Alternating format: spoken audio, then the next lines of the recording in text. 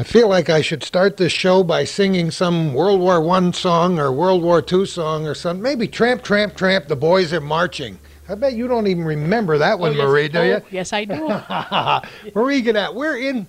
We. I didn't realize that inside the town offices in your historical office in Chazy, there are beautiful cut. The glass windows, glass. stained glass windows. From the Methodist Church.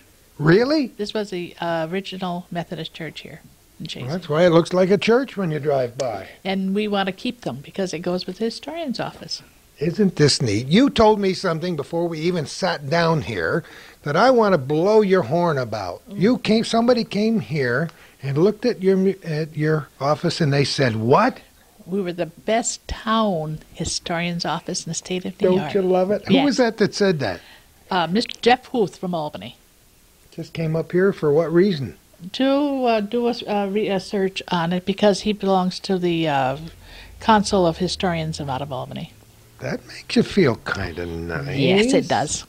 That's great. How long have you been here, Marie? Five years. Wow. And we've done a, a lot of uh, sorting, and we're still sorting. We'll, I'll sort the rest of my life. Oh my goodness. When you're in this business, that's what you're in the business of doing. Right. That and finding genealogies for people. Doing their genealogies or their family histories. That's amazing. Amazing. More people are getting into that now. We have histories here uh, back to the 1700s because people have given us di- old diaries and old Bibles, and we've compiled all this information. Well, the town goes back to the 1700s. You, I have before me. What is this I'm looking at? It's a, uh, a it's a dedication map we had when the town was like 300 years old. Not the charter. The charter is not till 1804, but the town was 300 years old in 1976. And they I made want to look at this map for just a minute. Let Calvin take a look at it as I hold the microphone behind me. It's kind of neat. Shows a little bit of what life is like around here in Chazy. And because there is, we've met so many wonderful people, visited so many tremendous places around this area. And I think the rest of us in the North Country and those people who will be viewing this program called Our Little Corner, whenever it's aired, are not nearly familiar enough with the history of Chazy. So I would like to invite some of our viewers to come on up here and talk with Marie, stop over and talk to Fred at the Alice T. Miner Museum. One of the reasons I wanted to show this to start with, Marie, is because here, uh, this was put out by the Town of Chazy Bicentennial Committee Right. 23 years ago. Right. Now Right. 300, 200. I've got 100 Right. years. I've been around for 100 years myself. It's about time for my centennial. But the uh, it tells you all the historical things that happened here. From the very beginning, now we're going back, we're going, oh, well, sure, we're going back 465 million years ago for the Chazy historical highlights to talk about the town under the waters of the Chazy Sea. That's where it began. And over here in 1950, it says, displaced families from Europe, from a Europe ravaged by World War II, were settled in Chazy. Several remain today, adding much to our community. And guess what? Even 23 years after that, several more remain. Right. Tell me a little bit about that history and how that came about. How did those families get here and why? Well, one was uh, Mrs. Doctor and Mrs. Spear, Doctor and Josephine, Doctor uh, Andrew and Josephine Spear. Joe, eh, our viewers know Josie Spear from the from the latter days, as I say, for all of her work with senior citizens and the and the kitchen, Oh, Kitchen RSVP kitchen band. But they, many of our viewers, do not know that she was so instrumental in this story. Was, Tell uh, me a little bit about she it. was uh, instrumental in that she did a lot of the uh, paperwork to have, uh, which there is a lot of paperwork when, you, when they leave one country, come to another one, and she was a um, mediator between the immigration and government to bring these people over. Uh, but there's a lot of, uh, but they had to have sponsors, and so she went around and to get the sponsors for uh, these families as they came. Well, what was the reason for the families wanted to come here in the first place? You'll have to ask this lady. We're going to find out. We're going to have some several guests later, depending on who drops in and who makes it here today. We're going to meet some of these people. I have to tell you, before we started the show, I talked to a great friend of mine, uh, Buzz Rolson, who called me up to talk about a show he had seen on TV with Frank Pabst, the old captain of the Juniper, and myself. And uh, he mentioned the Battle of Plattsburgh and mentioned that he saw many years ago in Life magazine a picture of a, a granite stone somewhere on the campus of West Point, which listed the four most significant battles in the history of the United States of America, and it mentioned the Battle of Plattsburgh. And we've been trying to get the Battle of Plattsburgh on the map as being a significant battle for Right. years. And finally, we're trying to work this area up into a fever pitch, and we're doing that. But I told him where we were coming today, and he got all excited on the other end of the telephone, and he said, Frabatko. I thought he had sneezed. no, I said, Frabatko. He said, Yes, don't you remember? Frabatko came here as a stonemason, and many of these people were stonemasons who came here. And he talked about his son Tommy, and he talked about how Frabatko came here, and they made them, uh, they almost had to prove that they had a great skill or talent before they could come over here. And he said, Well, Frabatko built a church somewhere in Europe before he came here, and I guess that was credentials enough Right. because these people were fabulous. And then he told me about watching him work with his son Tommy. One day when Tommy was just a young lad and was building a, a stone wall somewhere, and he said he walked onto the job, and Mr. the elder Mr. Frabatko said to his son, Thomas, that's not right. I will not have a job that's not right. Tear it out and do it again. And the younger Thomas said, Okay, Dad. And they tore it out and they did it again. And if that isn't an example of how, what wonderful artisans these people were, huh? Now I know the uh, well Miner built the school. He brought the Italians because they were the world's best masons to have make sure that everything was done perfect. So he had uh, a lot of the families come in then, uh, like the Rawls and the uh, I'm trying to think. I can't think of all their names, but But many of the families you have listed in this book, we went down and recognized several names. What is this book you've got there, Marie? well, the history of the town of Chazy. Okay. We got a new edition that, that's Oh, you do. History of the town of Chazy, Clinton County, Nell Jane, Barnett Sullivan, and David, Kendall, Martin. Familiar names. Right. The uh, she worked many many years and did a lot of research and uh, talked to all the families in the area, and she compiled this book and with the help of David, and uh, it was put out in 1970, and we've just put out the third reprint. Have you really? Is it available here? It's available right here, right now. Well, hopefully, we'll get people all excited about this Well, I subject. sold nine last week. Did you really? So the, when this is done, they're done because I I can't do it again because it was eight thousand dollars to bring in these books. Oh, it was. and it's uh, so we have that's just uh, you have to have this money all up front. So I have kind people that back me this time, and they will. I won't dare ask again. Well, there are many people, even those who don't live in Chazy, who want to know a little bit about the history of the town of Chazy, and they could just come here or contact you to get more information on how to buy this book, right? right. Yeah, How many do you, how many do you have? We have about four hundred here. Well, not now. We have a, a left. Got maybe 150 left here because the rest have been sold. No kidding. They're going very. Do, fast. do they? Uh, all the libraries have copies? I hope so.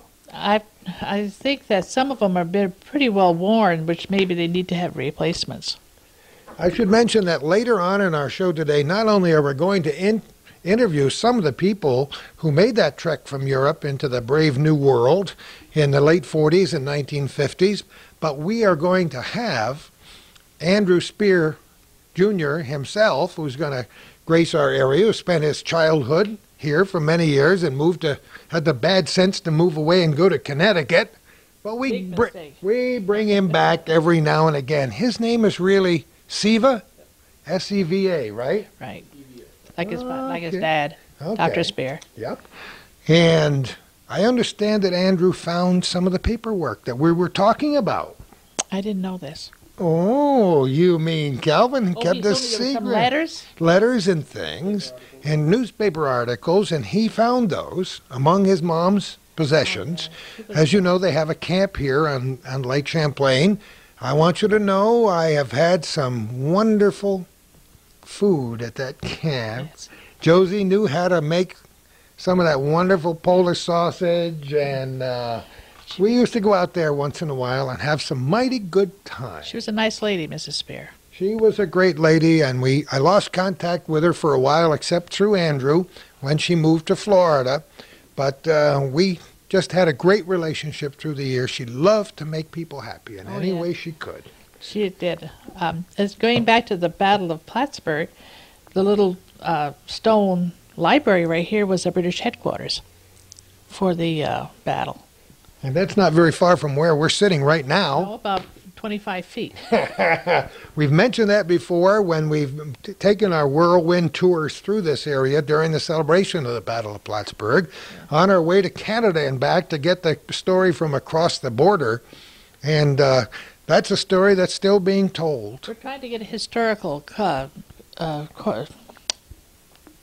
what do I can't remember. If you want me to go on a walking tour from Canada, what do you what do you mean? A, not a, a marker? No, a historic uh, way from Cham- Fort Chambly, Quebec, down to. Oh, Albany. get a whole trail, huh? And we're Historical trying to, trail? yes, and we're trying to do that, and it's, uh, we had a meeting already in Plattsburgh about this. Oh, won't that be marvelous? People can come here from other parts of the country and follow the markers and stop and make the whole trail. Well, I have all my markers done in Chazy. They're all, all my historical markers are finished and up to date. at This point. Well, you know, before we go any farther in this program, I would love to have, have you tell me when your interest in Chazy history started and how you developed a I was- passion I'm- for it. Fourth generation Chazy. No kidding. And I wanted to uh, come in and I wanted to make sure these papers were all preserved for future generations. And the lady that was doing it was not well, so I offered my services. And I re- had retired, and What did you do before you retired? I was 35 years at Ayerst Laboratories in Rouses And my husband was 42 years uh, in U.S. immigration at Oh, Champlain. my goodness. So between the two of us, we work here each day to try to get this organized. Do you have others who help you, volunteers? We volunteers? have or- volunteers. We have two ladies from Rouses Point, Eleanor Martinson and Joyce Lavoie.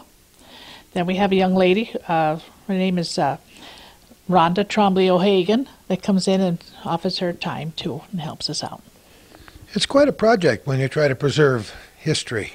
You have to you have to always be a student yourself, don't you? You have to uh, preserve, and, and there's so many things you have to be careful of. Like newspapers cannot be put with other things because newspaper has so much acid it would destroy your paper, uh, destroy your regular paper. So you have to put mylar in on everything, which we have, which we are doing, preserving. And then we're trying to preserve all the documents we have. The uh, Hubbell, all the Hubbell papers here and from the early 1800s and we have all them up in the cupboard here, but we have them all in uh, uh, boxes that, are archival. You know, it's it's wonderful. We stopped and saw George and got a copy of the old newspaper article to show what place the Hubbell family had in the Battle of Plattsburgh and the War of 1812. And a lot of people who know George and his present business may not know about the Hubbell family history here in Chazy. Well, the Julius Hubbell started back here as a lawyer in this little stone building here in the early 1800s, and his family originated Champlain, came here, and when he died, they turned the family turned the papers here. They rode down to watch the battle. A lot of people went down as spectators. They even came across the lake that day. Right. But the uh, story I like the best is Mrs. Stetson next door was had were the uh, British commanders, and she told him he was going to lose the Battle of Plattsburgh, and he said, "Lady, no one ever talks to a British commander like that." But she said, "I'm an American." Isn't that beautiful? But we have documents of that here too. Isn't that terrific? So now, what got you interested in in this uh, immigration from these people back in the 40s and 50s? I've been in, interested for a long while, but I never could get Mrs. Spear and I could never get together at the right time, and then she sadly she passed away. Isn't that terrific? Well, we're going to continue our program in just a moment.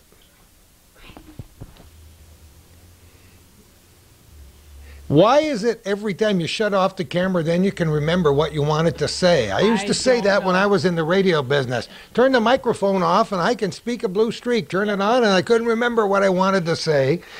That's a penalty So- of uh, forgetfulness. So now you finally remembered what you were trying to talk about. Yes, it's a historical corridor from Fort Champlain to Albany, down along Lake Champlain, Won't down both sides of the lake. That will be so neat.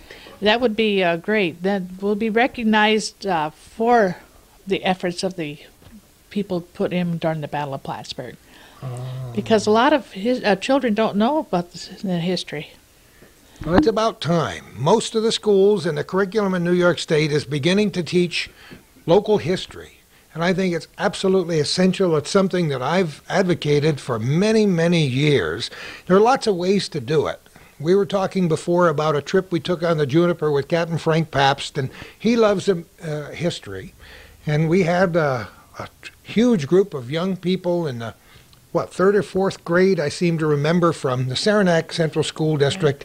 And as they're looking at the shoreline, and they're looking at the islands, and they're looking at Crab Island and Valcour and Cliff Haven, Captain Frank is describing history to them.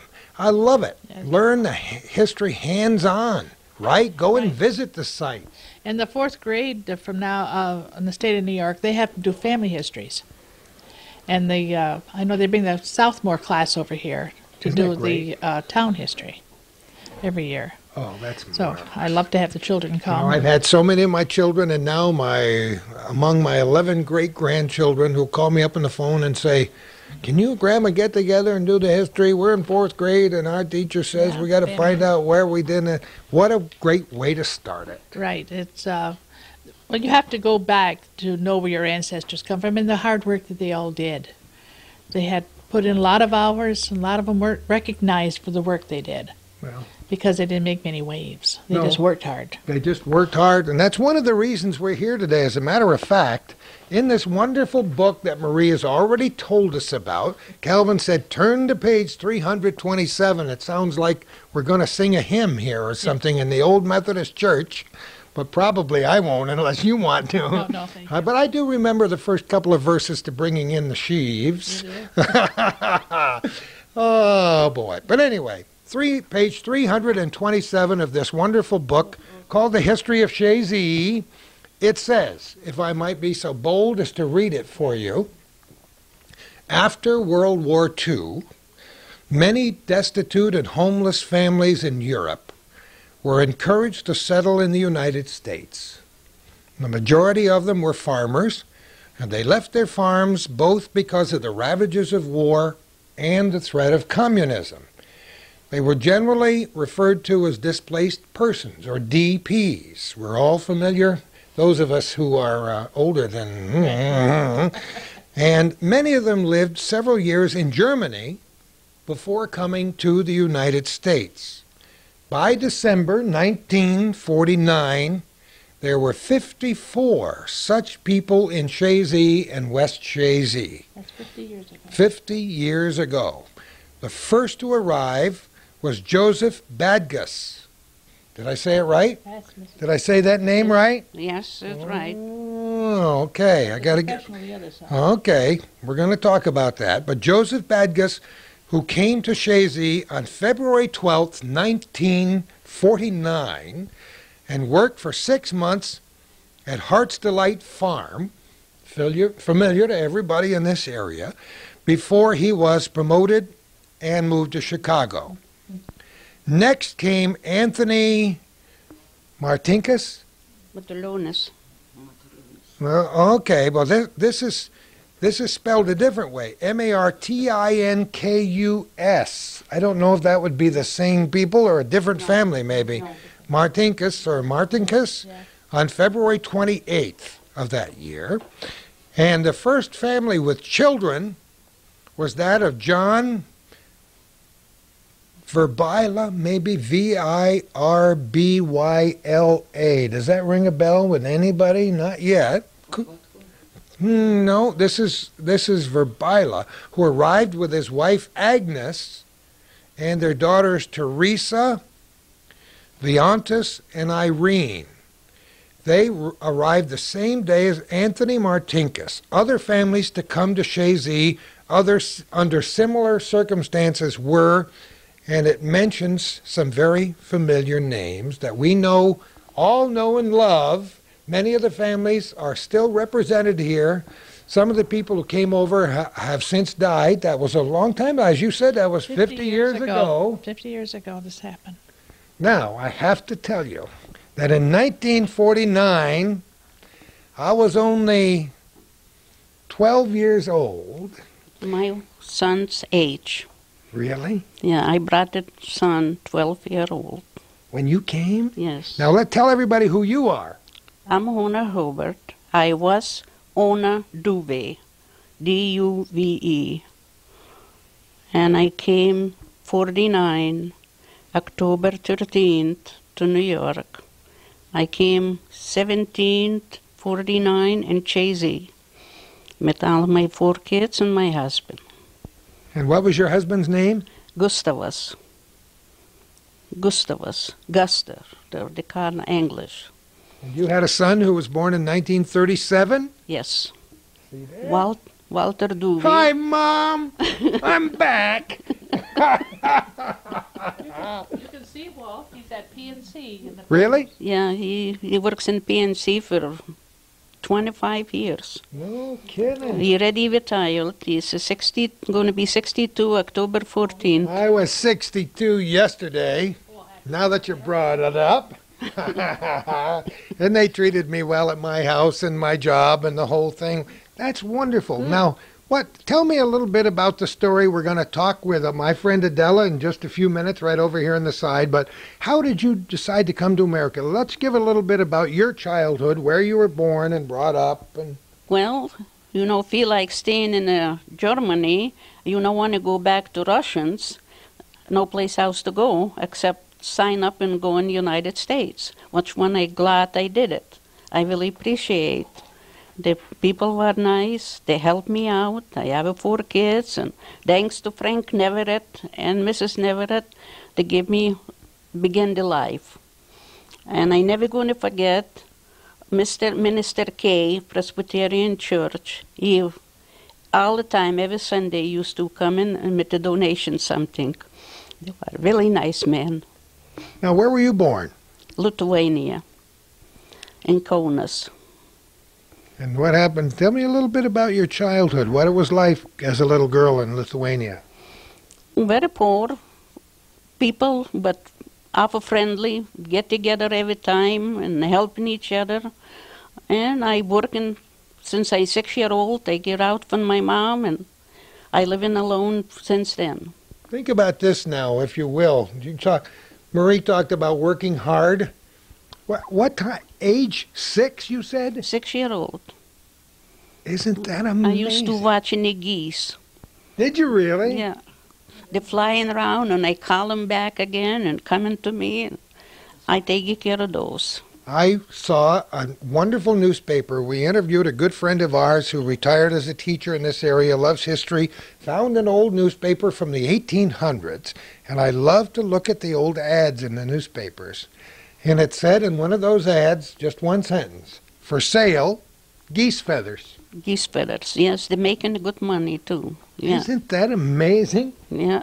I imagine they put them, uh, put geese feathers in, uh, what would they put it in? They would put them in pillows and Yes. feather ticks. and- Feather, feather blanket. And Oh, listen to this. Andy's here. How are you, my man? Comment ça va? Uh, oh, that's wait. a that's gee an, whiz. that's another. Oh, gee whiz. Another Lithuanian phrase from many years ago. Oh, gee whiz. Kaip tau einas, aš moku šnekėti lietuviškai. Nori, mokat pakalbėti lietuviškai labai? Be- Biski, kaip einasi? Uh, uh, I'll speak in German. Es geht mir gut. We are going to have so much fun here today. We told our audience already that Andy Spear was going to be here, and we are. Just a little bit of background information, and then we're going to continue. Before we get to Andy, uh, I guess we already got to Andy. He's such a shy little boy, you know. I'm my Uh, mother's son. And yeah, I know you're your mother's son. Pretty soon we'll have the kazoos out and we'll be doing March Around the Breakfast Table here. And happy birthday to you from the kitchen band, huh? All right, we're talking about Lithuania. You went out and, and watched the geese when you Yeah. were six. Then what? Well, I keep on growing, and from the geese to the pigs, from the pigs to the cows. I love it.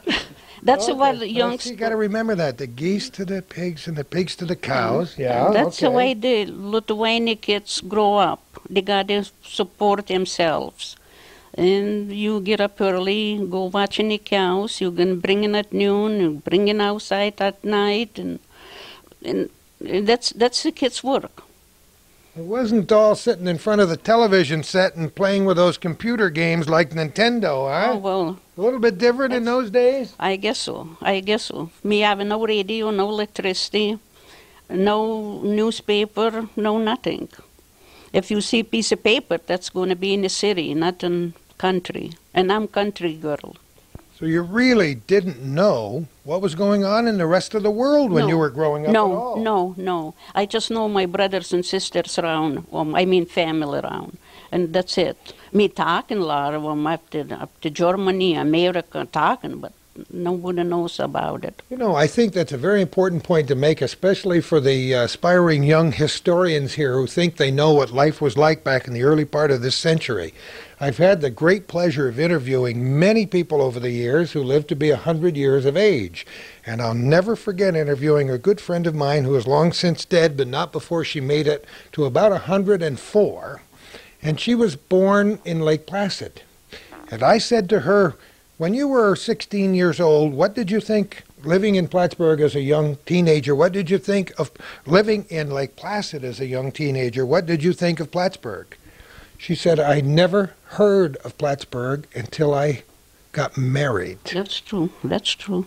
Here we are, less than an hour's drive away today. She never had heard of it and never had visited Plattsburgh until she was an older adult. That's true. I never see Kona till I was a 17 year old, and uh, that's our capital city. I never see him.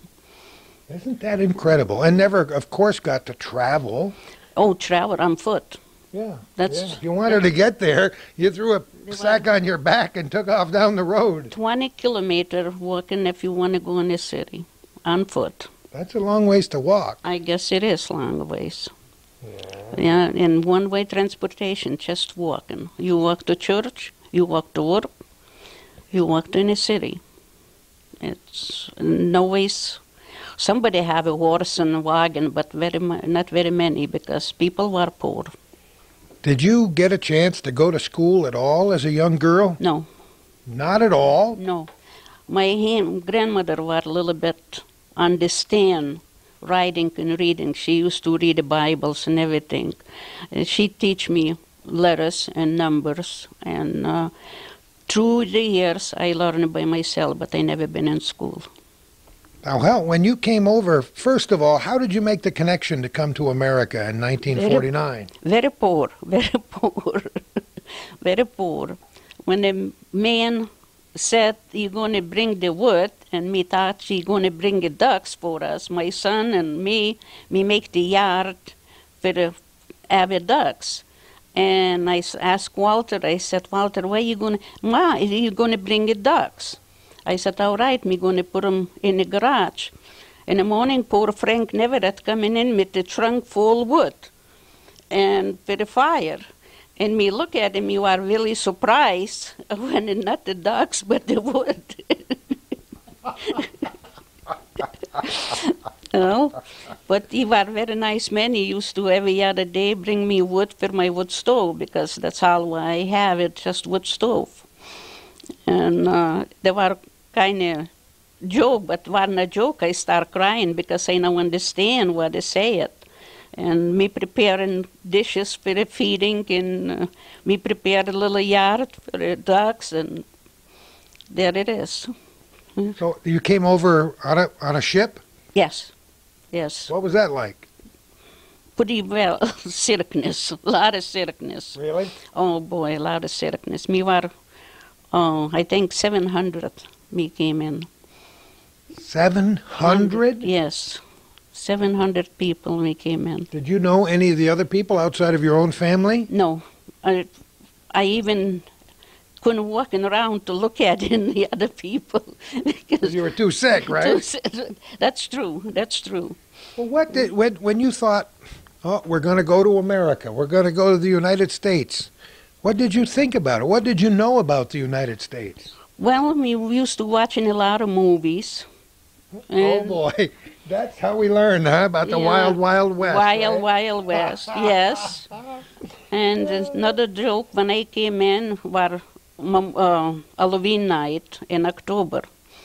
And the kids next door, they came mark my windows and uh, screaming and yelling. And I remember my movie in Germany when they're killing each other's and uh, shooting each other's. And I said, there it is. That's the wild, wild west me are in.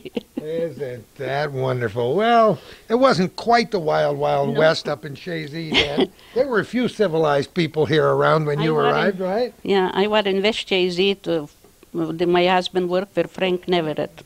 He was uh, road, road director or road some Road supervisor, supervisor, superintendent. Yeah, super, okay. yeah. He was a nice man, very nice people, very nice. I really glad to see him, but thirteen dollar a week, with the six How, people. how much was that?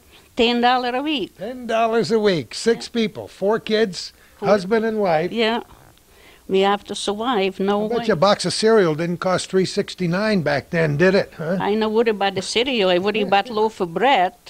The Canadian used to come in and bring me bread second day, 30 loaves, and nothing else, just the bread is disappeared. But I'm glad to having it too.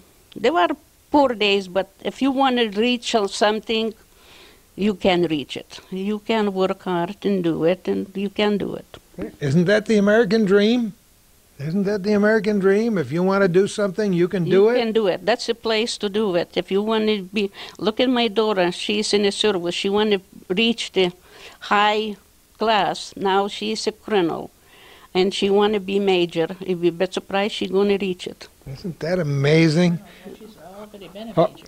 Pardon me? She's already been a major. Now she's a Already colonel. been a major. Now she's a colonel. Yeah. That's Right, maybe general that's next. That's maybe general next, huh? Well, the gen- Maybe then we'll have an announcement if Hillary makes it. Uh, I think I'll run for president of the United States. I'm going to be secretary. So what what were the biggest problems you had when you first moved to this area? Was it the language? Was it getting Lang- language, clothing, everything, everything, everything.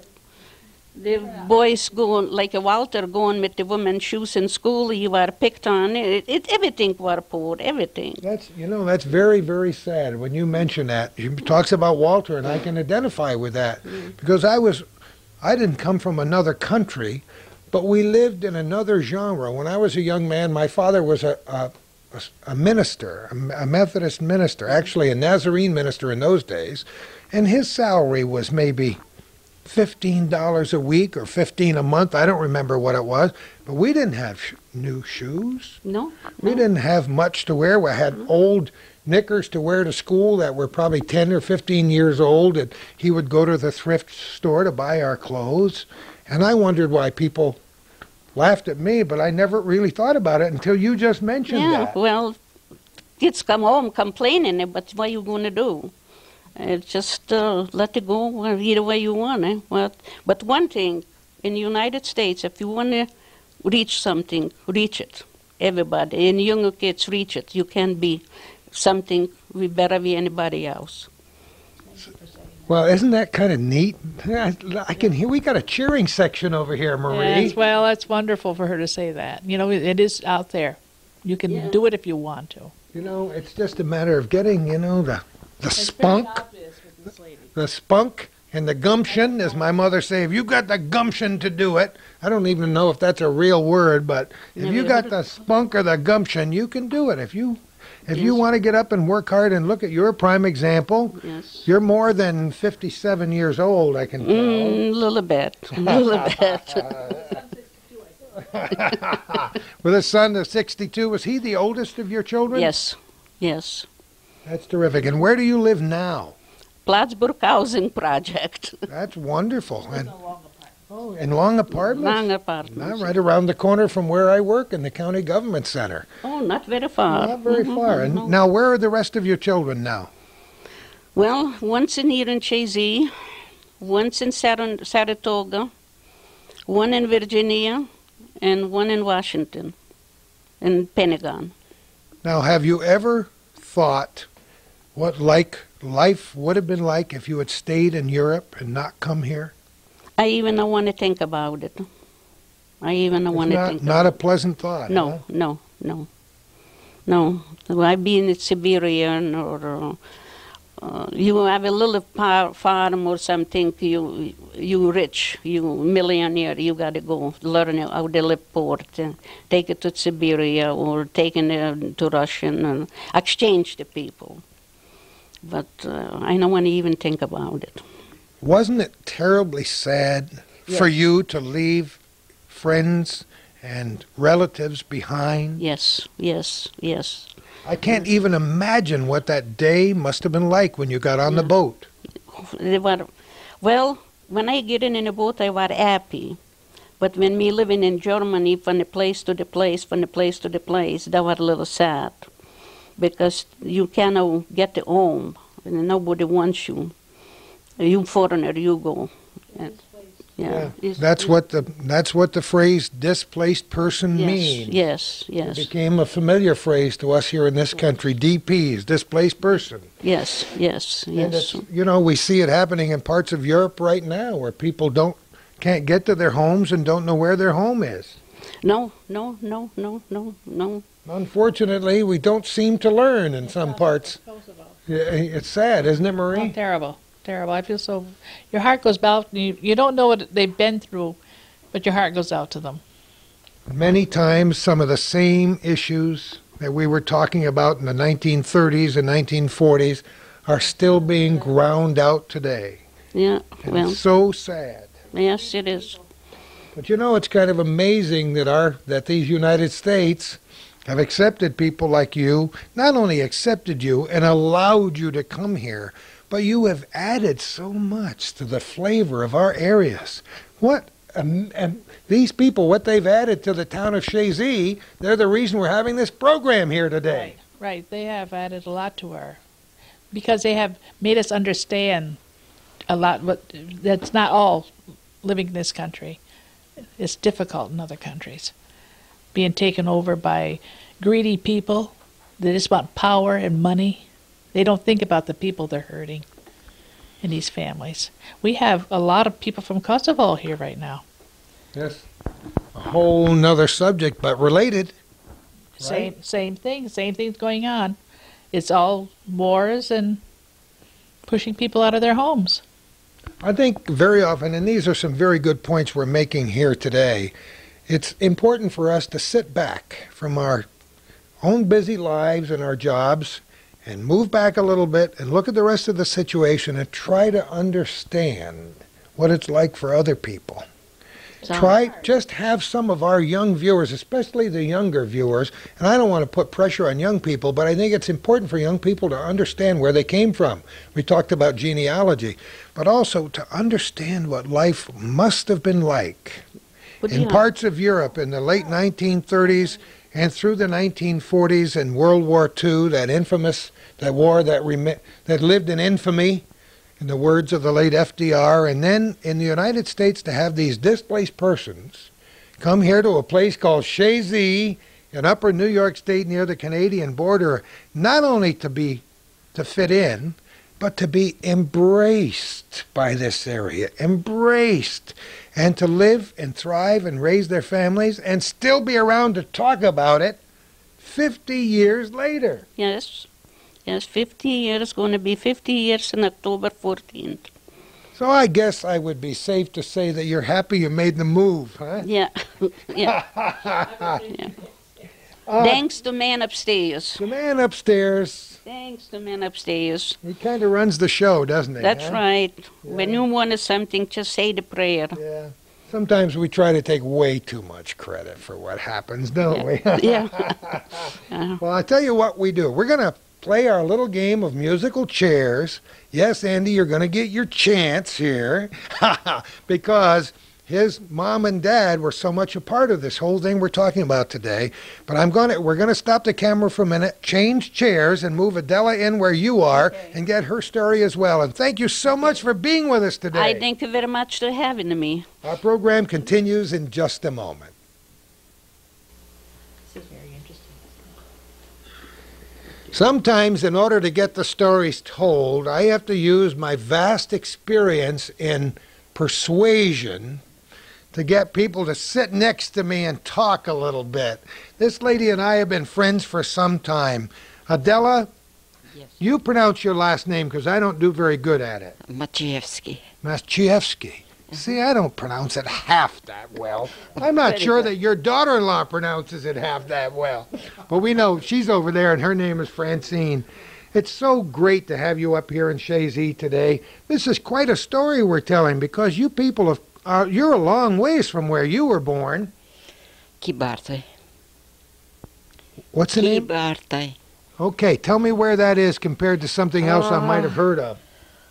This uh, on the border Germany. This I where I lived maybe one kilometer from Right from the border? from the Germany. Boy, oh boy. And you were you were born and brought up there. How big a family did you have when you were a little girl? That's I can remember. The first children, the first word, before first word, they born. They die in 16. Oh, really? Two, two sisters and brother die 1916. What kind of disease was going after first word? And I born in 1920. But you know, that happened a lot then. A lot of people didn't live to very old ages. You know, they weren't all as fortunate Oh. as you are to live to. My parents lived. Uh, my mother died 78. Uh, she born the same day, the same month, in June 30. That's I be June 30, the same age when my mother died. no kidding. Oh, my goodness. How old was your mother when she died? 78 and 78. in s- seven, eight months, like this uh, for November 2nd and die June 30. The seven months. And your dad, how old was he when he died? The same age, 78. Both were 78. Yes, he died in 59. He is born in 1881, January 18, when he died 59 in Augustine. That's almost the same age died. Isn't that a. This couple months different. That's, that's pretty great when you can talk to people whose parents were built, were born, built, were, were built and born in the 1880s. That's marvelous. So now we know where you were born. We know you had brothers and sisters. Yes, and one brother was younger by three years, and one sister was after my brother 11 months uh, younger. That's I. I know when my sister died, sometime medicine gave. Uh, brother was killed in Germany. Oh boy. That's, uh, I don't know. I just find out afterwards. Well, you know, families were torn apart. That's what we're talking about. Displaced persons' families were torn apart. When these people came to the United States, you know, it was very hard to communicate back home. We couldn't pick up the telephone or send email on the computer like we can today. Nobody have telephone. even if you had a telephone here, they wouldn't have one back there. no. And And the- chances are, if they did, the phone lines would be down anyway. Oh, I don't know. The, the doctors haven't was telephone. That's I know. Doctors had a telephone. That's I go into the doctors. They have telephones. now, we know where you were born. Did you spend a lot of your life there? How old were you when you left the town you were born in? In 14, 41. 1941? Okay, you were 21 years old then, right? The stony years. And then where did you go? Uh, they taken me August. uh, Still, I have few months to go to November 21. Yeah. And then where did you move to from there? That's I was in Germany. working farmer place. And then when, when did you get married?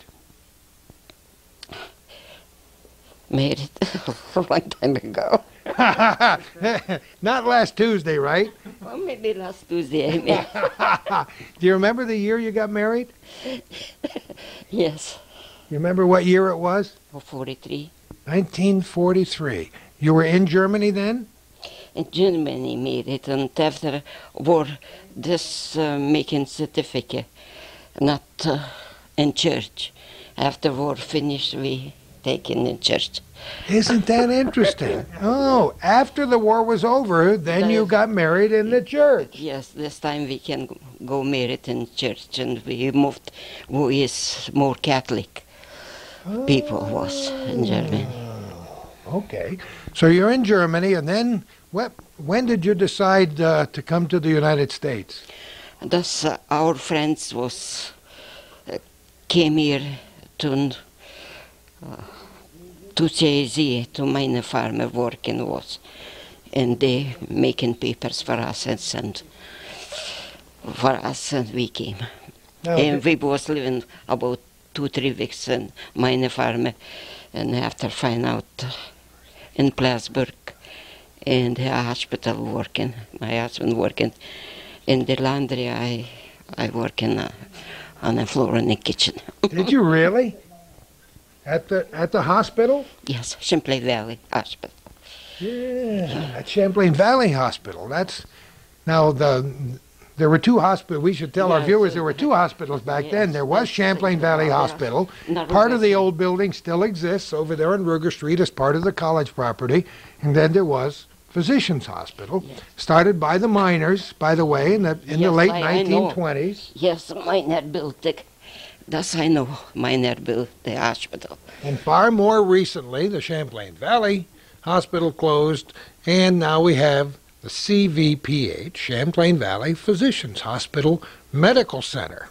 And interestingly enough, this weekend they're ready to open a brand new department uh, called the Alice T. Miner Women's and Children's Facility, and we're going to take some tours and have some fun. And here's a little part of Chazy, right down there in Plattsburgh again, right? Right, right.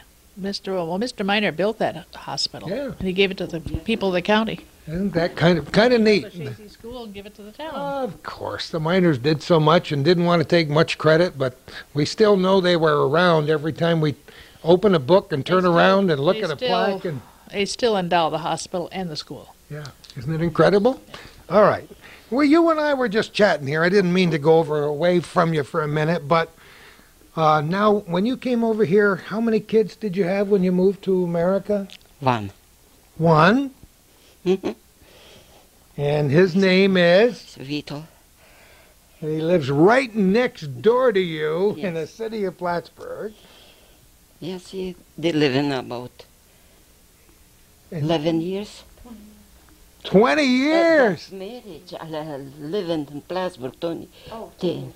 And that's Francine over here. That's his wife, by the way, and our dear I friends. Know. In 90, uh, start building 88, he transport April 1st here. That's I know, and she moved uh, in August 99. That's mo- 89. 89. I can't dates are. I'm terrible on dates. Now, let me t- talk to me about your husband. What did what did he do for a living? What was his job? Masonry, working everything. Fireplace building, foundations, what you ask. These people were the best. I don't know how many of these displaced families that moved over here in the late 40s up to now you came in 51, right? In 1951. I don't know how many of these people were stonemasons, but uh, I mentioned Frabatko a while ago. Oh, yeah. One of the best, right? For Botko know the job, yes, from the country. My husband was engineer. No, no job like this working. That's thank you for Mrs. Spear. Yeah, let's talk a little bit about that. But he was an engineer, right? Yes, engineer they have in the in was after in Germany prison war. You know the war was came thirty seven. This three weeks was gone in Poland. It's amazing. Many people did have to change jobs when they came here. Some people were allowed to keep their own jobs.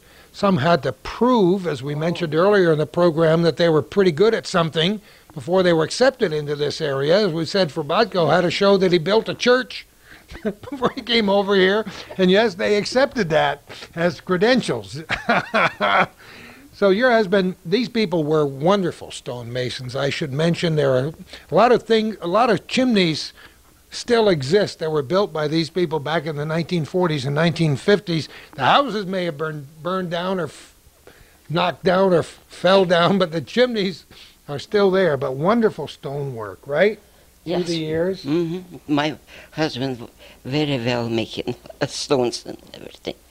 He They were wonderful craftsmen, artisans as we call them. They were just terrific at everything they did.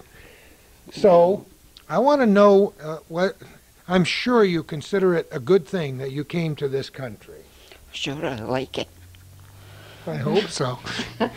if you don't, we're going to try to see that you like it before you leave here today. It's not. I know it's a little bit nervous for you to sit on the hot seat here and have this television camera going, but I think your story and the stories of other people like you who are displaced families and moved over here is very, very important story to tell. We want young people to know how hard you folks had to work when you were young and how really tough life was wor- was during the war in Europe. It was awful. That's uh, I'm not working like she said, six years working.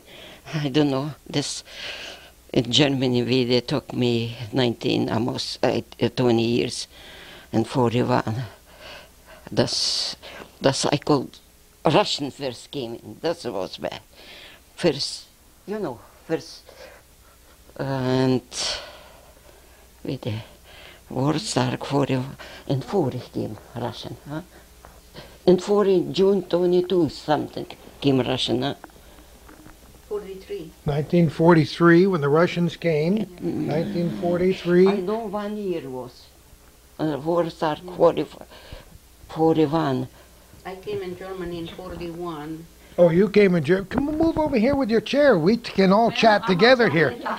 Let's get your chair over here. I, we can all. We can get. uh, uh, Germany took in Puran and wagons like young people in, in Puran after taking yeah. uh, Oh, yeah. uh, the Put them on the trains, put them on the yeah. buses, throw them on there, and, and no baby taking it by the legs, throw them on the, on the oh yes, trunk, and uh, that's is, uh, Jewish scream. people.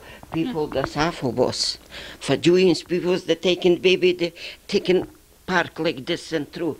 that's true. Yes, That's true. I walk in one time on a German, on a I Jewish saw too.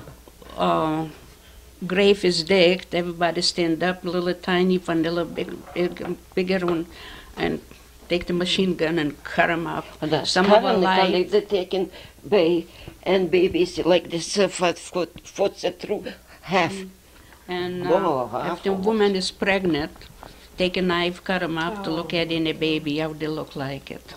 That I saw my own eyes. That's No, that so one. I saw we That uh. Jews He kill doesn't- uh, killing I don't killing even that's get in that because it hurts too much. that's I was Oh, uh, Really hurts too much. it was Horribly painful for me even to hear the fascinating was, uh, story. maybe oh mile over mile where the Jews was killed. That's uh, I was young. I was like a sea. the looking. Well, those are those are awful memories, aren't they? Oh yes, for Absolutely For horrible Jews. memories. And you For mentioned Jews, waking oh. waking up and hearing machine guns That's it. and not knowing if you were going to live through that day. No, nobody You know. never know what were going to happen to your children or your ah. husband. No Forget about thinking. Just look at it, what's going on. The president sold it, so- a country to the Russian overnight. And I early in the know, morning, they saw- I live in not very far from Russian, probably a oh, thousand miles or so. And uh, they came in, just nowhere, nowhere, no, do, no. Just the machine guns going, they're shooting it, they're screaming it, they're yelling it, and just we found out and from one to the other one talking and then told them when uh, Presbyterian people who's Presbyterian allowed to go to Germany. And my husband is Presbyterian. I'm Catholic. And uh, he signed up right away. He said, I got to get out from here. I can't stand it. And me get out to Germany. See, it, it, you, you can't stand it. You, you I can't stand even hearing about it. I can't stand hearing about it 50 some odd years later. Would they want to go to Germany? They were saying, you can go. That's you talk in the later days. I get out earlier because the uh, Presbyterian people allowed to go right away. Me allowed to take the two horses wagon and all the food in the wagon. Oh, and yes, I know bam, that. Yeah, I was and coming go. like this. Uh, I in the border living this, I saw. Yeah. Does this remind you of some of the some of the footage you've seen on television over the last three months Do you from believe Kosovo? It? Do you believe it? Yes. I do. Oh, Yeah. yes. I do. I feel those people feelings. Do you? good many times sitting by the television and I cry and look at it, all those people walking and my son's feet were that thick from walking. You asking him. We'll have an opportunity. I mean, this is a story that has to be told, that's been told other ways by other people, but these are these are emotions that you people have carried around with you. I have a baby Since you were very stroller. I have a baby in a stroller and Walter walk inside him bare feet on the uh, gravel and everything, 500 miles till me reached some, some, some help. But 500 miles from the home. 500 miles. We hear people complaining from Kosovo that they walk like 20 miles, right, to get where they were going. Incredible stories, and we're going to continue this story in just a moment. You know, I have to apologize for some of our tender-hearted viewers and remind you that uh, some of the folks carrying the cameras and the microphones here are tender-hearted too. Uh, in spite of the fact that we we're here today because we knew this story had to be told. This is a vital part of not only Chazy, but of the United States and the world. These are stories that have- been uh, longing to be told for all this time, and we have to release some of this emotion because we still have to heal. And if you don't know that there's healing going on in this room today, this is like an old fashioned revival service here.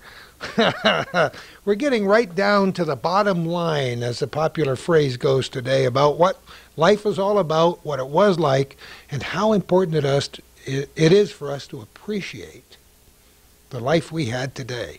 And Andy and I are going to talk a while later on about how we study history because hopefully we learn by what happened before us. Well, sometimes we don't learn too well, and that's a story that deserves to be told today. Adela, you were telling me that your husband was in a concentration camp? Yes. He was in, working by farmers, descendant, two farmers working. And where were you at that time? Thus I met him. Oh, you were there too. Thus I met him. So it was a good it was a good thing for you to get out of there when you did, right? I don't know. I just they gave and eat, and uh, they no was paying. No, we no get no penny. Oh no, you didn't you didn't get a salary and retirement insurance benefits and No, things like that, did you, huh? no. I left when you go into the doctors, was everything free. Yeah. No, or sick or something. If you could find a doctor or, or get to one, right? Yes, what you get. That's uh, everything. They no charging was. They no charging the Germany. For Germany people, you all to five hundred dollars what you make it in month. Over five hundred, you need pay everything. It's amazing. Oh yes. I got to tell you that I, by the border was living in Germany. Germany. I know very well, and I can speak Germany, you can speak German, you can speak Polish, Lithuanian. Lithuanian, and English very, very well. She worries about not being understood. And we understood almost more than we wanted to understand today because these stories are so absolutely sad. But you know what? We are so delighted you came to this country. We're so oh, delighted it, that you yes. live in the North Country, and it's very important for us to have met you. This is a lady who loves to walk, spends a lot of time walking over at the mall and up and down the street and tending that lovely little garden. What have you got planted behind your house this year? What have you got in your garden? You got anything growing? Oh yes, my beans is yeah, your beans. Lettuce I picking up. And you got Dill, some oh, dill, some peas. I put on all this still not coming peas. Still not coming the peas, huh? No. Come on now. Tomatoes, cucumbers is out. All the peas I cannot get for first uh, this last week I put on my peas.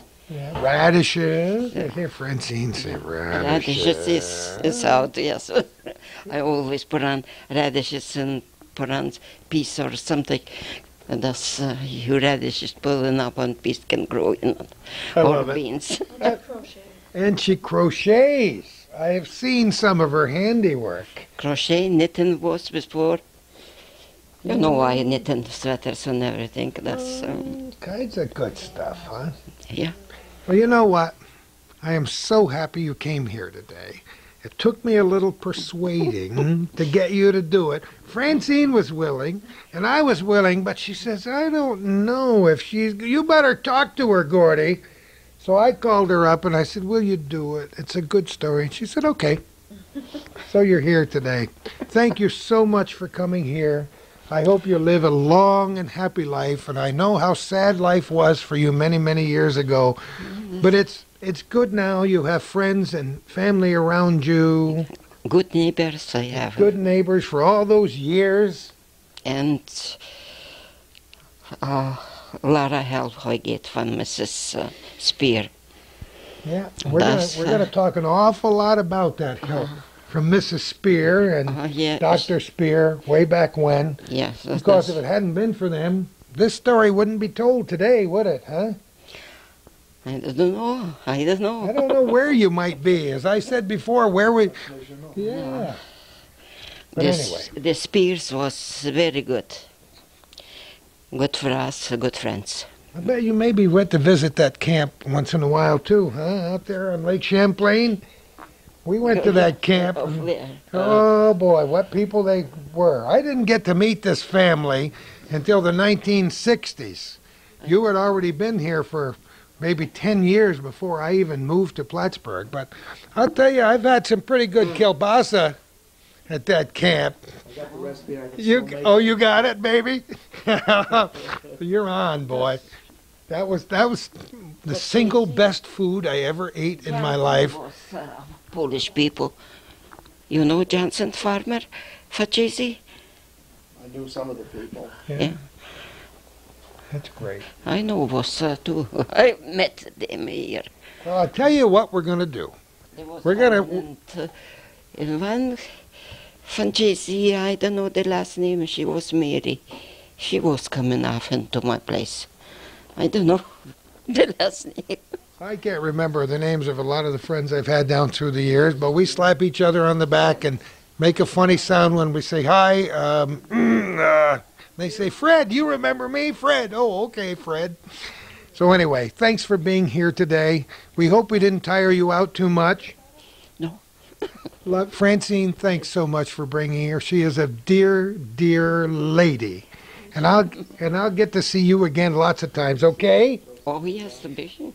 And I'm going to move the microphones over to, to talk to Andy Spear. And we're going to look at some of the old letters and some of the old things that we have that connect the past with the present. And 1949 and 1999 are going to come together with a great crash right after this.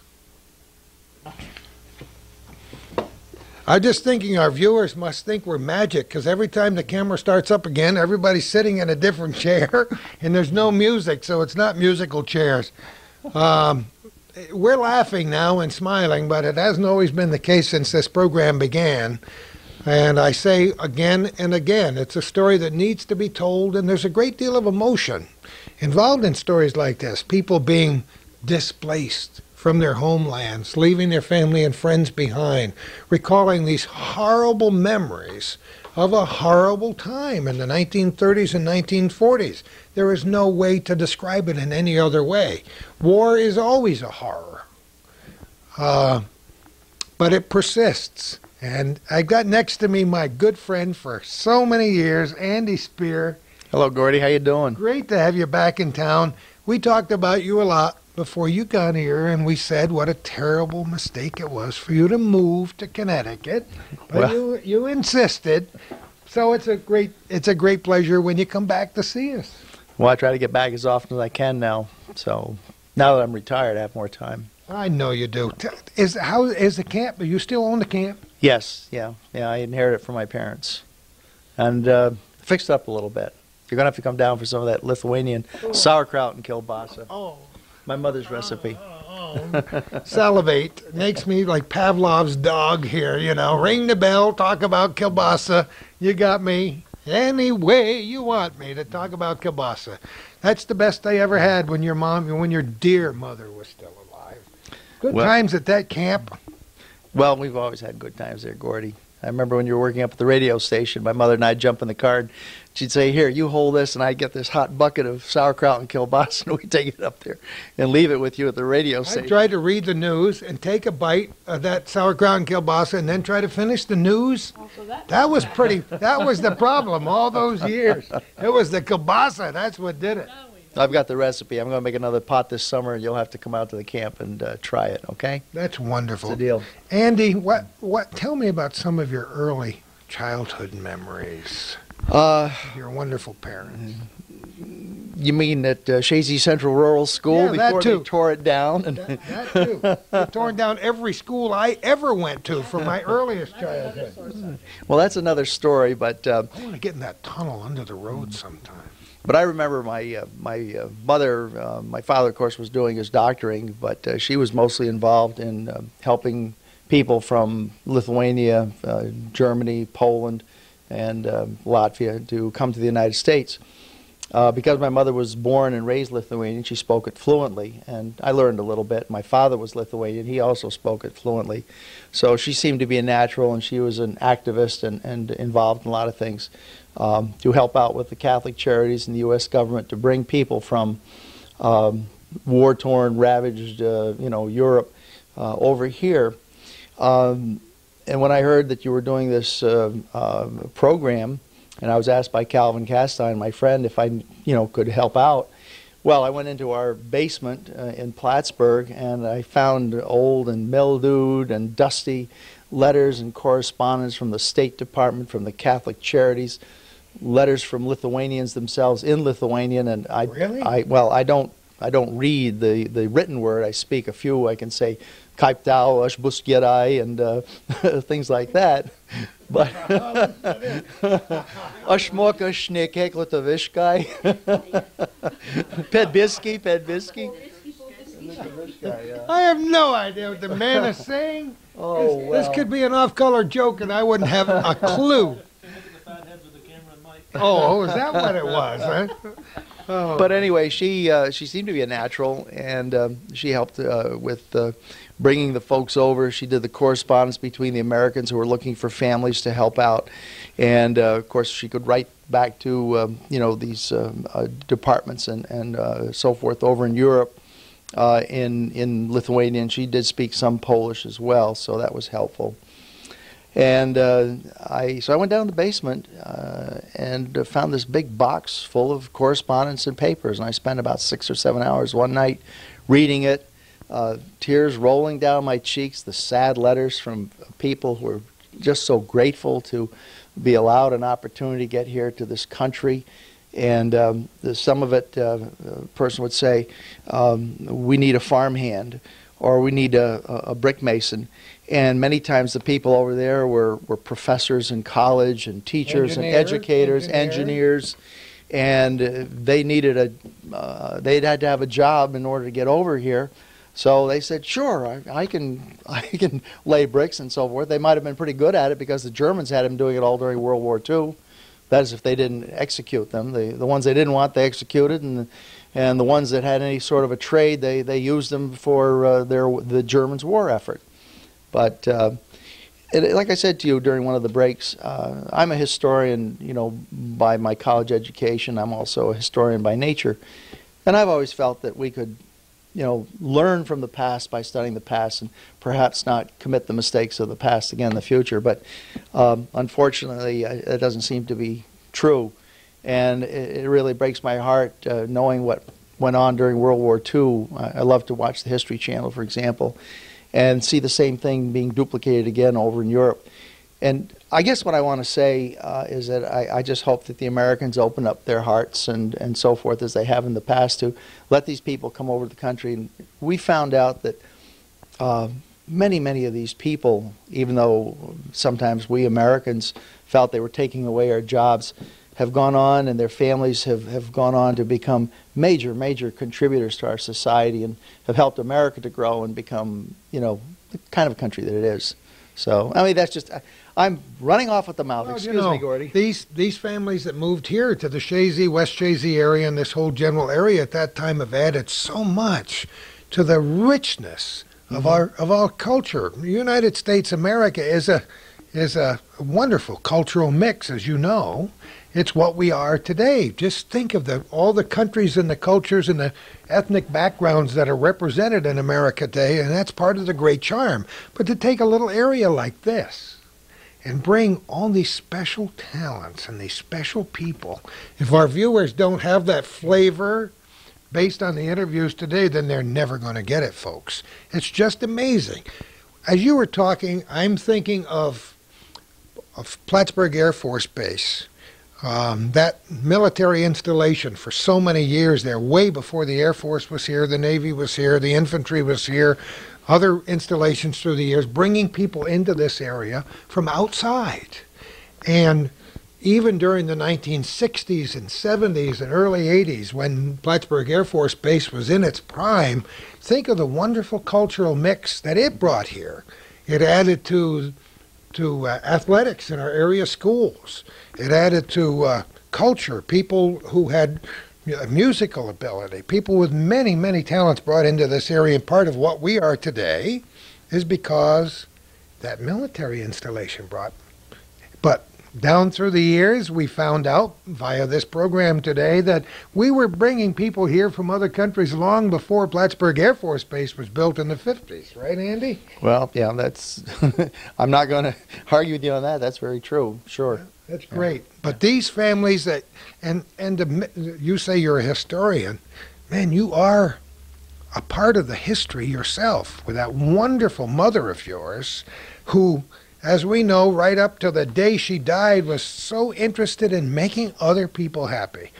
If she could walk in a room and make you smile by singing a song or doing a little dance, The kitchen band, you remember or- that? Yeah, the great kitchen band. That's what pleased her more than anything. Somebody once said about my mother, um, Josie gets involved in everything. And they said, I swear to God that uh, when she's uh, being lowered into the ground, we're going to hear a rap on the inside say, Wait, there's one more thing I want to do. And maybe she did. Maybe it's a good thing you weren't there. Oh, boy, I don't know. She Um, did a lot of things in her yeah. life and touched a lot of lives, including my own life and our long, long term friendship.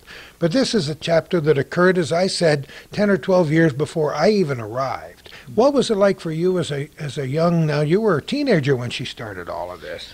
Well, I have some good memories about that. Um, there's someone, someone a little bit humorous. We had a man that uh, actually lived with us. I mean, we didn't. We put our money where our mouth was, is whatever. And his name was Joseph Gozdek. Joseph Gozdek. He was a Polish fellow, and um, he moved in with us, and he did odd jobs around. Uh, you know, did yard work and, and stuff like that. And uh, he got paid by the family. And every Saturday night he'd go down and he'd uh, have a couple of beers at the Chanticleer and Chazy and so forth. Well, he came back, and uh, my mom and dad had this uh, little old lady. She never got married. Her name was Jenny, Jenny Menor. The Menor family is up, uh, lives up in Altona, or did. And uh, Joe'd come home with a few beers, and he'd try to grab Jenny and give her a big kiss. He says, "I love you, I love you." And Jenny was like, "Get away, get away, you dirty old man." so Joe was uh, Joe was a lot of fun. He moved to Chicago, and unfortunately, I heard that uh, uh, he had uh, somehow or other died from food poisoning. Uh, you know, maybe something he ate and what have you. So, um, but I remember Joe. I also remember another family. Well, of course, I, I, I knew the Calvitises, the Farbotkos, the Skinkies, uh, Matalonis. Uh, um, I remember Ponya Matalonis, he was a, a, professor from a college, and he worked at the hospital. His wife, Ona Matalonis, she also worked at the hospital. Drew a lot of my blood, uh, you know, when Oh, I was really? donating. Yeah, Yeah. yeah. Yes, yes. She was working in the kitchen about 10 years soon after. Yeah, yeah. Kitchen, huh? is uh, Yeah. So you, she knew she knew Mrs. Matalonis also. So I knew a lot of the I knew a lot of the families that were up here.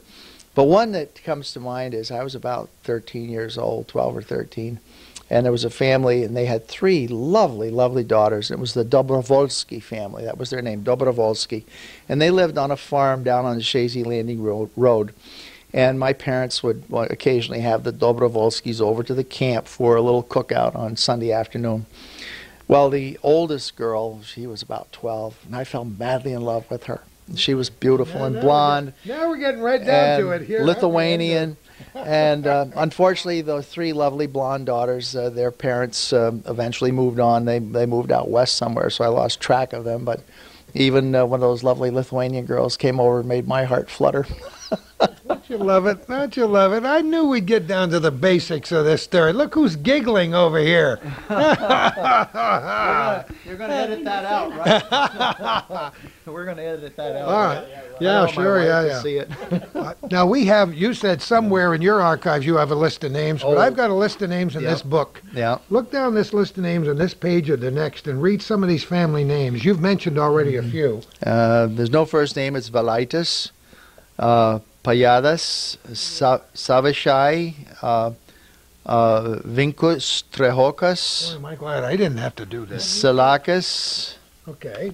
uh, who moved to Chicago, came to the Dragoon Farm. So the, this is where they came to also. But And I say you mentioned Farbotko. uh, uh, we didn't get that. Okay.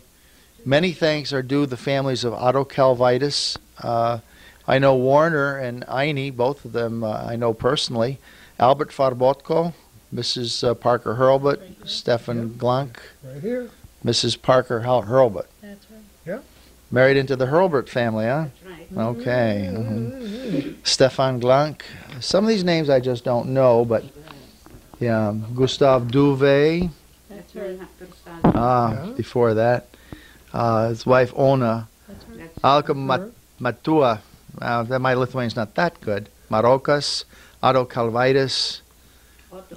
Otto Calvitis, um, August Calvite, Richard Calvitis, and from Poland, Joseph Musial, Musel, Stefan Glank, Glantz, Maliniak, Maliniak, yeah, okay. Uh, uh, Mashajuski, There she is. Right there. Okay. Um, and Albert Farbotko, his wife Alexandra. Then it goes on to say all of the children and so on and so forth here. The only ones remaining Chazy now are the two Calvitis brothers, Otto and August. Um, well, I guess uh, Warner is down towards Plattsburgh. Yeah. Um, and uh, Eine is, is up by West Chazy. In fact, uh, uh, a friend of mine just left his uh, puppy dog out there, boarded it for a couple Oh, of really? weeks. Yeah, yeah. Eine has a and his wife. They they have a, uh, um. A boarding place for, for pets. People go Oh, away.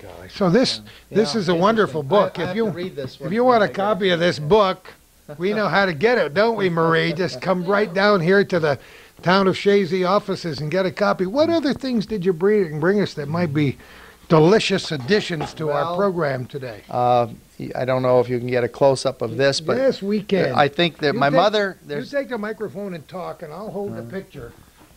Tell me, Okay. tell me what it's all about.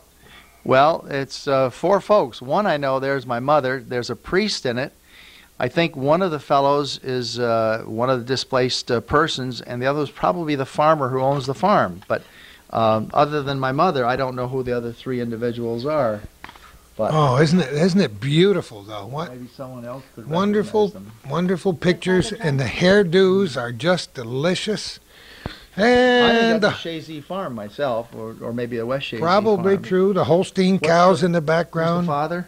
Who- Father the priest- Thompson. Father Oh. Thompson. Father Tom. Father Thompson. There's my mother here, and I, am not sure who the other two people are. I'm not sure if I would have recogni- even recognized your mother in that picture. We're passing pictures all around here. Looks like a Mr. Miner No. on the side. Oh yeah, you hold the microphone again, and I'll hold this picture because this is great. No, Mr. Miner died way before that. You want to see the three-tined hay fork, boy, that's still in existence today? 1931. It's a hay wagon right behind him, I bet. Yeah. Hager Studios, 46 Margaret Street in Plattsburgh, New York. That was the old hay wagon. Look at that. You just kind of Mm. threw it on with a hay fork, folks. That was the day before loaders loaded the I hay. found a Chazy farmer. That I must be a West Chazy then. Um, Oh, great. amongst all the stuff that I picked up from my uh, mom's collection of correspondence, uh, there were Lithuanian newspapers. This is completely in Lithuanian. Uh, there were letters in Lithuanian from uh, uh, Just- from individuals that I'm had been just gonna placed. Hold it up and let Sure. Calvin take a picture of it. Shoot it, Calvin. It sure does smell musty. Too bad we don't have smell-o-vision here. I'll hold, try to, oh, I got it. Oh, what great, all folded up in boxes in the basement. Did you know this stuff was there? Ye- mm, sort of. I, I saw it there, and then when someone wanted it, uh, I went down and salvaged it. Uh, here's an article in 1950, uh, New York uh, Herald Tribune, about the Baltic Underground and what they were doing to undermine the Russians, the Lithuanians, Latvia, and Estonia.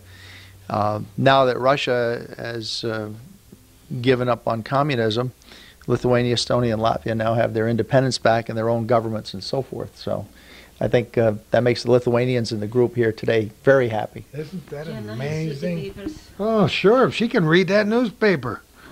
All right, what else have you got? Oh man, look at he's got the he's got he's got a ton and a half of material here. A gold mine. Oh, wait a minute. Some creatures got after some of that stuff. Looks like it got a little damp like the stuff in my basement there one time or another.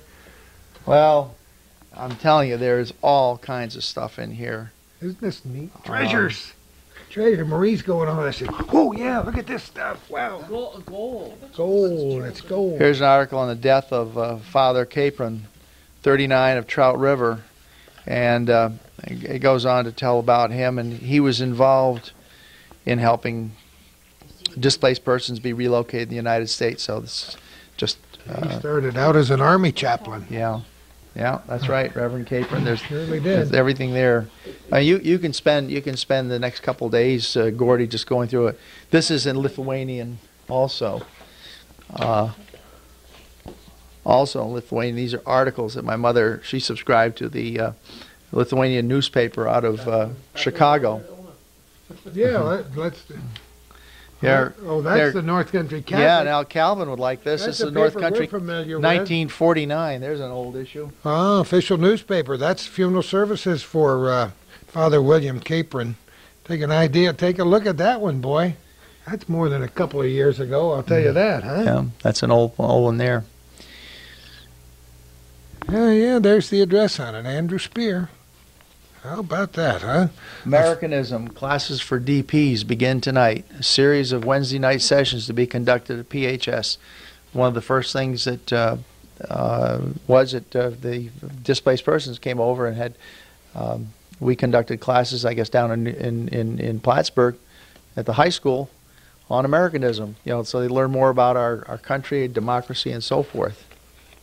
And you know, this program, it says, will not be solely for DPs. It'll be open to other new arrivals in the Clinton County area, as well as others who may want to participate. Mrs. Andrew Spear of Chazy, who has been actively interested in the uplift of displaced persons for the past two years, has continued her interest to the educational phase of their rehabilitation, and it was at her request the program is being inaugurated and the Salvation Army was involved. The Plattsburgh Kiwanis Club was involved, and uh, that's very interesting. I don't know what year it was, But we know it was January 18th, so it was wintertime. Uh, no, can't tell exactly what year it was, but we can we can guess in- it was around 1949, 1950. United Lithuanian Relief Fund of America. That's in December 21st, 1949. 49. Partial letter. Yep. Oh boy. United Lithuanian Relief Fund.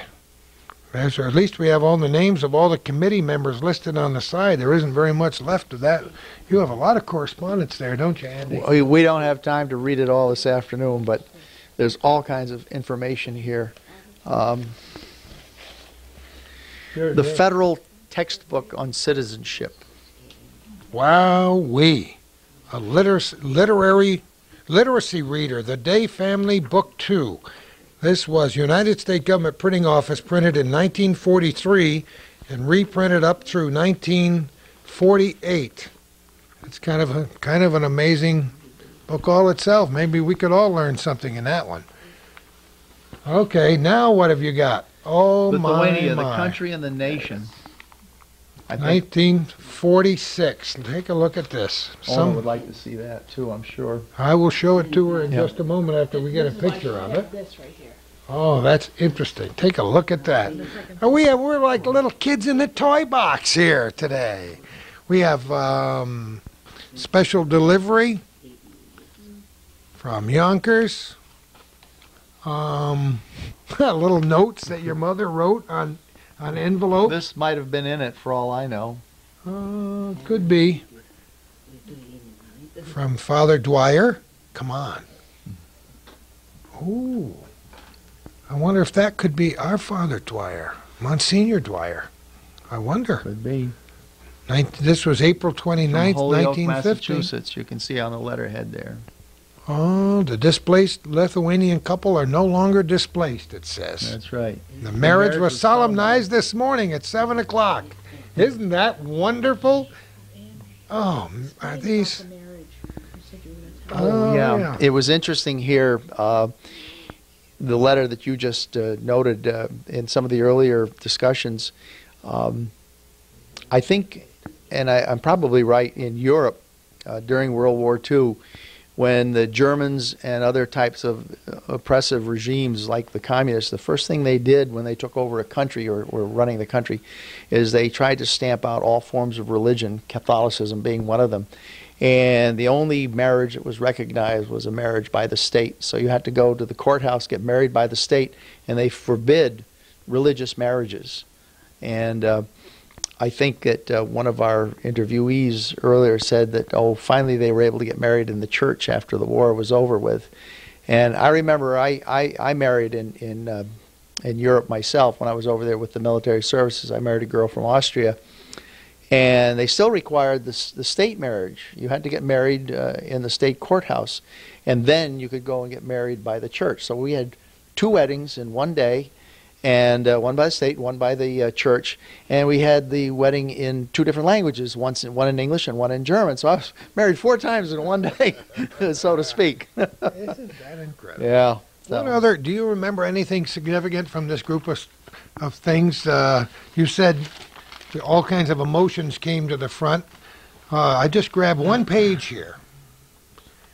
And it says the Nazis deported many Lithuanians for slave labor, seizing young uh, people probably in churches on Sundays. Think about this. Remembering the unspeakable brutalities first Soviet occupation, many thousands fled to Germany when the Russians came back the second time. Thus, there mushroomed a group of 100,000 Displaced. displaced Lithuanians in Germany and Austria, which were liberated by the uh, advancing American armies. Under the congressional program, some 30,000 came to the United States. The rest are going to Canada, Australia, South America, Argentina. Listen to this. During the Middle Ages, Lithuania was a powerful state, extent, extending from the Baltic to the Black Sea. Helped to keep the Tartars out of Western Europe. The Tartars got only Russia. Held off the Germanic Drang Knock against the Slavs. And it goes on and on. Boy, I'll tell you, there's a little bit of the history right here. That's page two. I wish we had page one. You're nodding your head over there. You know some of that, don't you? I know that. I know that. Me talking, my grandmother used to keep and track and all that and telling us all the time those stories, all that what's happening. That sounds familiar so much. Feels like my grandmother reading a book. I don't have quite probably don't have the same voice as your grandmother, but the information brings back all those memories. It's kind of incredible how we- that we what, the things we have here today. I want you to see how envelopes used to be addressed back in those days. This is uh, before the days of zip codes, Andrew. There was only three cent stamp on it too. I might add. yeah, three cent stamp, but you can see how the address was. Just Shay's, yeah, J. Spear. Good. There was never, never mind. There might have been a Jack or a Josie or a Fred or a George and Chazy, New York. You know, isn't that amazing? And they always knew where where it came from. I can't. Oh, that's Plattsburgh. P L A T T S B U R G, no H, New York. Um, can't read that last name, but it's R D two and Cara Bubbins. Here above it. Ah, don't. That you was probably the family that they were. Read that one. Yeah, this is uh, also Lithuanian here. I think many of these letters uh, corresponding with my mother were um, probably expressions of gratitude, um, and only someone who reads the Lithuanian language, which I don't, um, would be able to verify that. I could see thirty-five dollars in there. And that's the only thing I could see. What else have you got over here? Any other little gems that come to mind? Look at the well, you know, you saw packets. thirty-five dollars there. I think some of the people that had uh, were caring for families that uh, they, I think, I think the, um, I think the, uh, uh, the uh, the charities organizations, you know, gave them a stipend every month to uh, help out with the expenses of maintaining the family. It's a little bit too personal to read, huh? Yeah, well, she borrowed money and gave it back money. That's Oh, isn't that amazing? Knowing Josie, knowing Josie, that would be absolutely true. These were long before the days of computers, you know, when when you things were typed on old typewriters. That brings back great memories of me. Way back, this comes from St. George's Rectory in Burke, New York, April 5th in 1950. Dear Joe, Dear Joe, thanks for your letter and best wishes. Hope you all have a happy Easter. I am returning the check for Pupelis. That account was paid by Sister Annunciata in January. Thanks for the other. I received a check from Gediminal Galvanauskas for 34.50. His account was 36.56. It was sent from Chicago. isn't that great? This is from Burke, New York, St. George's Rectory. I have visited the Valikas family in Canton, and I advise they're going to Boston as the sponsor is not all that satisfied with the farm work of Mr. Valikas. isn't that interesting? He says that he is a bricklayer, and I suppose he can get work in Boston. The girls are quite old and should be able to get work in Boston. It is too bad they didn't go to Boston first. I know they won't work out at Canton, and I don't think the situation would be improved on another farm. The address of Gubiris is Dixon, Dickinson Center, New oh, York, care of Donald Richards. And enclosed, please find a check for $29. Sincerely, Father Devon. Isn't that great? So. All this There's a correspondence. Language barrier there too, and I think that caused a lot of the problems. They, they Of course. lost their patience with these people, the people, you know, which is sad. Well, you know, we, um, I hate Well, to there's expectations on both sides. Uh, the families had certain expectations, and the people that bring in had certain expectations, and they didn't always work out. In most cases, they did, but where there were bumps in the road or rough spots, uh, perhaps it was better that they, they found a different location. But I think that's sort of normal. Oh, I think most of the people where I let, read letters that were in English were just expressing their gratitude for being able to be over here rather than over in war torn Europe where conditions were much worse. They were in uh, DP camps. Um, there was probably a lack of water. And, you know, this is what I read. Uh, and we have some folks here today that experience that. So I, I don't want to take, you know, their, their place in expressing that. So anyway. Um, wonderful stories. I don't know what else might be in here. Full of it. I got a file full of it. I'll tell you what, we're we're going to um, we're going to do another chapter of this program. We will get some more of the families together. We'll get to talk with some of the younger people who were around, some of the people, some of the very young people around age 62, like Walter, uh, about my age, you might remember what it was like. And to walk at age 12, 500 miles with no shoes on. Uh, you know, I'll never complain about going to. The only reason I'd go to school with no shoes on is because I couldn't find them both when I took off in the morning. Because most of the time I lived right around the corner from the school. So anybody tells you Gordy Little walked four miles in the ice and snow to go to school as a little kid is, wrong. All the time my mother would be saying it's, how come you're only you're always late? You live 500 feet from the school. How come those kids who do have to walk four miles to school get there before you do? How come these Help ladies the- look so young and all they've been through and they're their ages? Now, I I think that's a compliment, don't you? I think they look. I can't get over the age I they think- tell me they are and the and how young they both look. They're absolutely amazing. Sometimes it's that. It's sometimes And they have a it's that. smile, And they have smiles. Oh, of course, they're charming. They light up the world. Well, there are a lot of other families represented. Today, they're speaking for all the other families who came in 1949, 1950, 1951. I'm so glad that they came. Uh, I'm so glad that, Andrew, that you came back to see us today. Wow. I'm going to have to take a deep breath. It may take me weeks just to process all of this information because I think very, very deeply about these things. You know how I cared about your mother. I mean, that goes without saying, and I hope that feeling was mutual. We loved each other. Uh, you and I have been friends for many, many years here, here in the North Country, and it's a it's a tragedy that we can't, can't see Calvin Castine, who's behind the camera, reacting to these stories here today because uh, we hear these stories and we think we're really tough, having been reporters and having done television shows, and we think we're steeled. Guess what?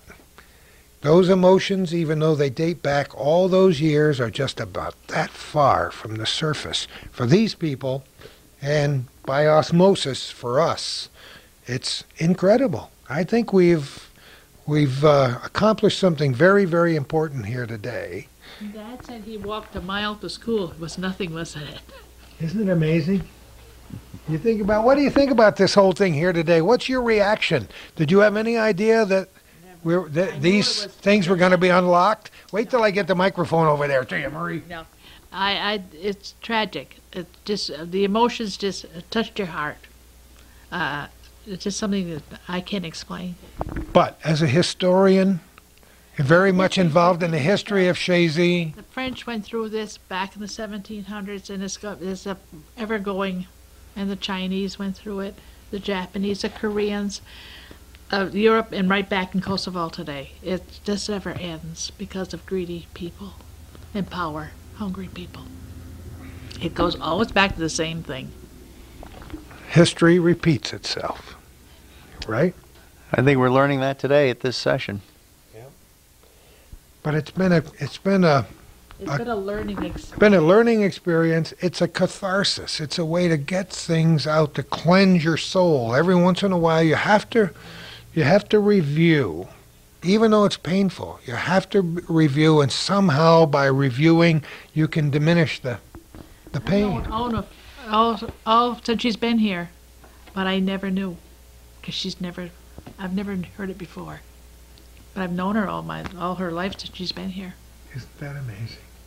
Well, in wrapping up this program, I want to say thank you, Ona, for being here today. I thank you for having me. I really enjoying it listening. You're a wonderful lady. We'll make sure you get copies of this. I want to thank you, Adela, for being with us today. Thank you, too.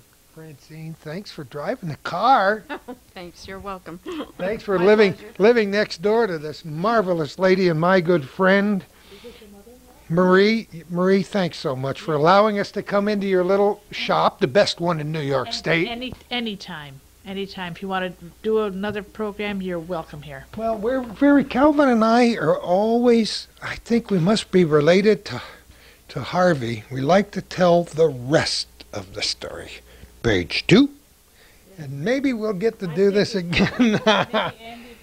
And of course he'll Anytime, come up I'm here again. all the time. He may live in Connecticut, but we got this very tight wire that goes all the way down. We just tug on it. and- Maybe Yeah, we'll get them all. We'll, yeah, it's up to you to plan it. oh no, this The rest of us are just going to show up. Calvin will bring a fresh tape and batteries and find out where the plug is, and we'll do it again. Andy, thanks for coming over. You're welcome, Gordy. Good to see all these Hey, people here thank too. you For having such a delightful mommy. Had nothing to do with it. Oh gosh, I'm just my mother's son. That's all. I love it, and you certainly are. Yeah, I But I know. look like my father. Everybody's I laugh about that all the time. I wrote a column about it, about looking in the mirror each morning and finding every year that I get older, I look more like my father. I have his same mannerisms. I cough and spit out the window of the car and do all the things that my father. That disgusting. But you know what? That pleases to me to be like my father, and that's and that's great. So here we are today, folks. You can draw your own conclusions.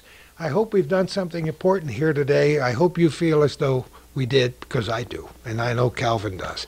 And who knows where we're going to be next time or what we're going to do.